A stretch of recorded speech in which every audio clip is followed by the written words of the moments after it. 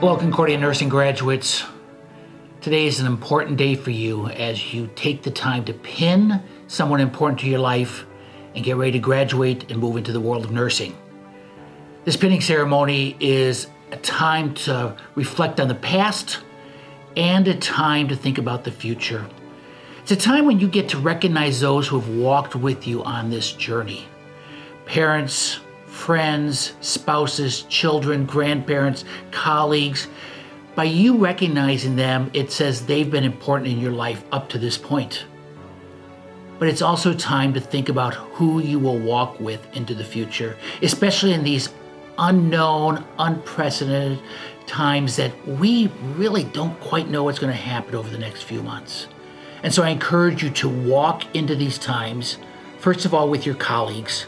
As you make friends, as you find mentors, use them, especially those who have gone before you. Listen to them, ask questions, get to know them, take their advice. I hope that you also walk into the future with the company of good books as you continue your pursuit of critical thinking, compassionate action, and courageous leadership. Great texts, great poetry can all help in that, as well as texts about leadership, care, and nursing. I hope you will also walk with Concordia University, Texas. Just as we have been here with you for these past years, we will continue to think about you, to pray for you, to celebrate with you. Let us know what's going on so we can share your stories with others. And finally, I hope that you will walk into the future with God, who says, I will never leave you nor forsake you. He says, Don't be afraid, be courageous, because I will be there with you. And that can make all the difference in the world. I am so proud of all of you as you walk into this vocation and serve others in the name of Jesus Christ. I know that you will make a difference. I want to thank you for entrusting your education to Concordia University, Texas. Remember her. Speak well of her. Be proud of her. Tell others about her. Keep her in your prayers and continue to support her with your gifts. And may God go with you as you serve others, care for them, love them, knowing that they are receiving the love and care of Jesus Christ. Congratulations, nursing students. We are so proud of you. We wish you the best in your next steps in your nursing journey. We know you will accomplish great things. Whoosh. Nurses ensure we reach some of the most pivotal moments in our lives. A cancer patient celebrating remission, a newborn headed home from the neonatal intensive care unit, a cardiac patient with a new heart and a new beginning, but nurses also have the skill to care for us during our darkest hours. Nursing isn't just a career, it's a calling. It's a passion, and it is who we are. The heart and the mind of a nurse is unlike any other. Jesus reminds us this is my commandment love one another as I, I have loved you. Today, more so than ever, we are in need of those with hearts of compassion and love to care for the injured and ill.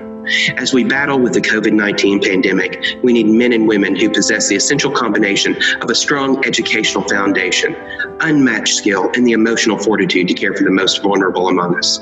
Concordia University, Texas empowers students of all backgrounds to lead lives of critical thought, compassionate action, and courageous leadership. Concordia develops the mind, heart, body, and soul in preparing leaders for service. As the Dean of the College of Health Sciences, it is my distinct pleasure to introduce you to the newest leaders in our community, the Concordia University, Texas Nursing Class of 2020.